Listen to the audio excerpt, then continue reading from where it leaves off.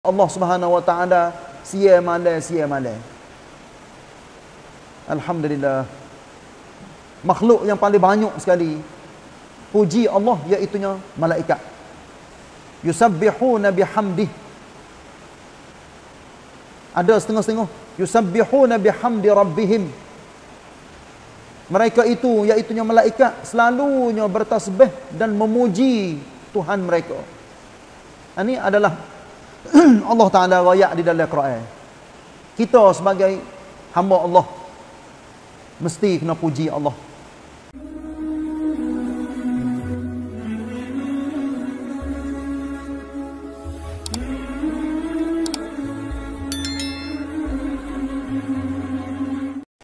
Ini adalah sebagai mukaddimah. Kalau dah kita perhati dan faham dalam mukaddimah ni gambarlah katanya dengan secara umum dalam surah ni ada gapo ketik. Tapi bukan arti katanya semua yang dia cerita dalam mukaddimah ni meliputi merangkumi semua. Ada beberapa perkara lagi yang dikatakan sebagai rating-rating yang ada di dalam surah ni. Kita masuk di dalam surah Sabak dah. Surah yang ke-34 diturunkan di Makkah 54 ayat. A'udzubillahi minasyaitonirrajim. rajim. Bismillahirrahmanirrahim. Dengan nama Allah yang Maha Pemurah lagi Maha Mengasihani. Alhamdulillahilladzi lahu ma fis samawati wa ma fil ardi wa lahul hamdu fil wa lahul hamdu fil akhirah wa huwal hakimul khabir. يعلم ما يلج في الأرض وما يخرج منها وما ينزل من السماء وما يعرج فيها وهو الرحيم الغفور. وقال الذين كفروا لا تأتين الساعة قل بلى وربي لتأتينكم قل بلى وربي لتأتينكم عالم الغيب. لا يعزب عنه مثقال ذرة في السماوات ولا في الأرض ولا أصغر من ذلك ولا أكبر إلا في كتاب مبين. ليجزي الذين آمنوا وعملوا الصالحات أولئك لهم مغفرة ورزق كريم. Ayat 1 sampai 4 surah Sabah. Kita ambil sekadar terjemuh ni.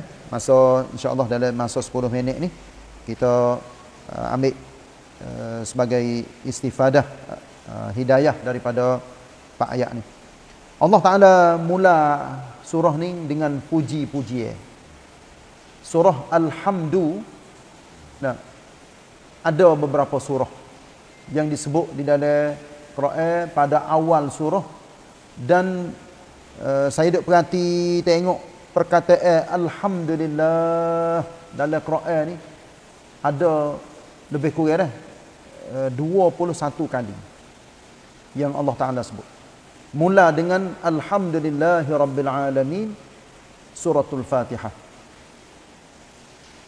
Jadi salah satu daripada surah yang dimula dengan alhamdulillah iaitu surah Sabah. Segala puji tertentu bagi Allah yang memiliki dan menguasai segala yang ada di langit dan yang ada di bumi. Ini adalah puji-puji yang Allah sendiri sebut dan kita pun kena duk sebut semua. Allah lah segala puji bagi dia dan semua makhluk adalah hak milik dia. Dan bagi dan baginya lah juga segala puji di akhirat. Inilah. Kalau babo-babo tok-tok guru hok ngajar di pondok dia sebut katanya puji qadim bagi qadim. Qadim ni maknanya hok dulu. Iaitu Allah Taala. Allah puji diri dia sendiri. Puji hadis bagi qadim. Iaitunya puji-puji yang lahir yang timurnya daripada makhluk-makhluk Allah. Hadis artinya benda baru. Kita ni sebagai hamba Allah puji Allah Taala. Tu maknanya puji hadis bagi qadim. Tu kita pun disuruh supaya selalunya puji Allah Subhanahu Wa Taala. Sia malai sia malai Alhamdulillah makhluk yang paling banyak sekali. Puji Allah iaitu malaikat. Yusabbihuna bihamdih ada setengah-setengah. Yusabbihuna bihamdi rabbihim. Mereka itu iaitu malaikat selalunya bertasbih dan memuji Tuhan mereka. Ini adalah Allah Taala royak di dalam Quran.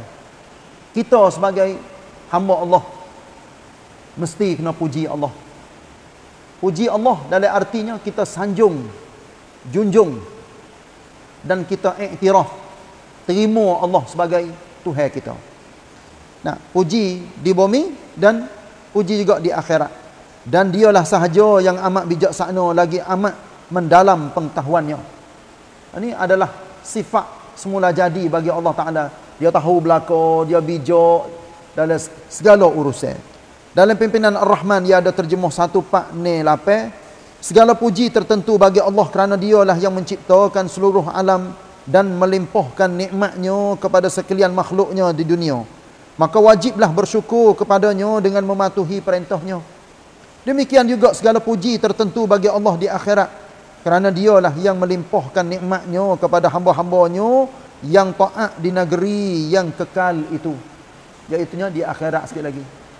Lepas tu, akhir perkataan orang apabila dia masuk di dalam syurga apa alhamdulillah. Dalam berbagai bentuk. Nah. Dalam berbagai bentuk cuba kita gambar akhir surah. Akhir surah az-zumar. Wa taral malaikata hafina min hawlil arsy yusabbihuna bihamdi rabbihim apa apa ada tu apa? Akhir sekali wa qila alhamdulillahi rabbil alamin. Kamu akan boleh tengok malaikat-malaikat yang ada di arash Allah Subhanahu wa taala dan di sekelilingnya dan adanya di kawasan syurga-syurga pakat tasbih belaka kepada Allah Subhanahu wa taala Lepas tu akhir sekali apabila sudah masuk di dalam syurga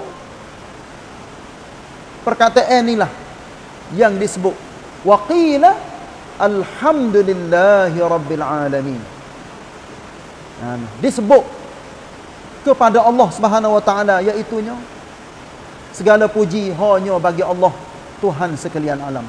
Sebab tu kita pun jadi selalu ajar diri kita sebut semua alhamdulillah Alhamdulillah. Orang tanya khabar kita pun, apa kita tak jawab khabar baik. Khabar tak baik. Tapi kita selalu dah sebut. Orang tanya, apa khabar lah ni sehat ke tak? Alhamdulillah. Ha tu nak ayat katanya orang berjuruh lah tu. Orang berjuruh. Dia sebut perkataan yang baik. Puji Allah Subhanahu Wa Taala. Walaupun keadaan mana sekalipun, tapi dia puji Allah Taala. Ini dah baik nah lah. Ayat yang kedua. Ia mengetahui apa yang masuk ke bumi serta apa yang keluar dari bumi. Masuk ke bumi mana apa? Ada belaka. Manusia masuk ke bumi. Benar-benar ada atas bumi segar masuk seperti hujan yang kita sedang-sedang duduk dalam musim hujan sekarang ni air daripada atas turun ke bumi segar masuk. Dan benda hak keluar daripada bumi iaitu apa? Pokok-pokok kayu benih-benih yang ada di bumi tubik mari. Dan rezeki juga daripada atas yang Allah Taala tanda kepada kita duduk di bumi maka keluarlah rezeki-rezeki yang kita duk makan hari ya dan sebagainya. Dan sebahagian laginya iaitu keluarlah juga manusia daripada bumi yang mati dah akan keluar dicokeh semula. Ni artinya dia mengetahui apa yang masuk ke bumi serta apa yang keluar daripadanya. Alhamdulillah. Dan apa yang turun dari langit. Apa tu? Ujian-ujian tak? Ha tak okeylah langit nak turun sekeping sekeping turunnya hujan daripada langit. Langit di sini artinya benda hak tinggi daripada kita dinamakan langit. Sama. Nah bukan arti hujan turun daripada langit yang pertama hak kita nampak tu tinggi benar tak? Tapi hujan dia duduk duduk likung dunia yang dinamakan awal dan sebagainya. Yang apa yang keluar daripada dan apa yang turun dari langit serta apa yang naik padanya. Termasuknya benda-benda hak turun daripada langit iaitu wahyu malaikat peretoh lepas tu langit adanya pitu-pitu. Malaikat boleh naik sia malam sia malam yang diizinkan kepada mereka. Ha ni? Yang turun daripada langit. Tak bukan saja ujian dan sebagainya tapi malaikat-malaikat. Dan benda hak naik ke langit. Gapo malaikat ah amalan-amalan yang kita duk buat setiap hari naik ke langit. Dan dialah jua yang amat mengasihani selama-lamanya. Alhamdulillah. Nah wa huwar rahim al-ghafur lagi amat pengampun hingga ke hari kiamat. Allah. Nah kita ni duduk di bawah naungi mengasihani Allah Taala. Kalau Allah Taala tak bui kesia belah kepada kita dia tak tahu apa kita nak jadi.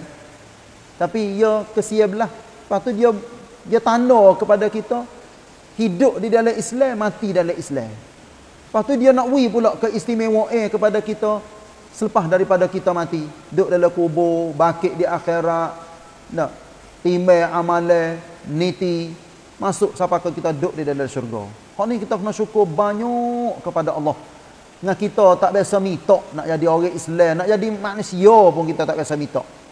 Tapi dengan takdir dia belakang ni. Dia tanda, dia takdir dan dia mengasihani duk plek, duk pera kacik mudah-mudah. Duk cara, duk jaga kita. Kalau kalah, kalulah dia tak jaga kita, pecah lama dah hime kita. Turut nafsu sebebas-bebasnya.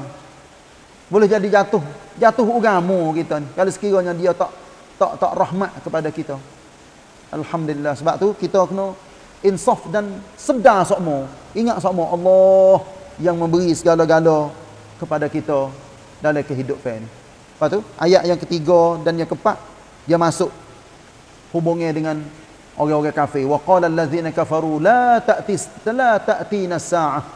Orang-orang kafir pada zaman dahulu wallahu alam zaman lah ni kita kita tak tahu juga orang kafir dia percaya ke tak kepada hari kiamat. Wallahu alam lah ni kita tak tahu dalam agama kafir. Ha hari kiamat dalam tiap-tiap agama ni adanya berbeza. Setengah agama ayat katanya tak ada. Duduk lagu ni setengah-setengah agama ayat katanya ada. Seperti agama Kristian. Ha ni saya nak ya ada dalam agama Kristian dia panggil Idul Qiyamah. Kita panggil dah Idul Fitri, Idul Adha. Tapi dalam agama Kristian adanya apa dia panggil Idul Qiyamah.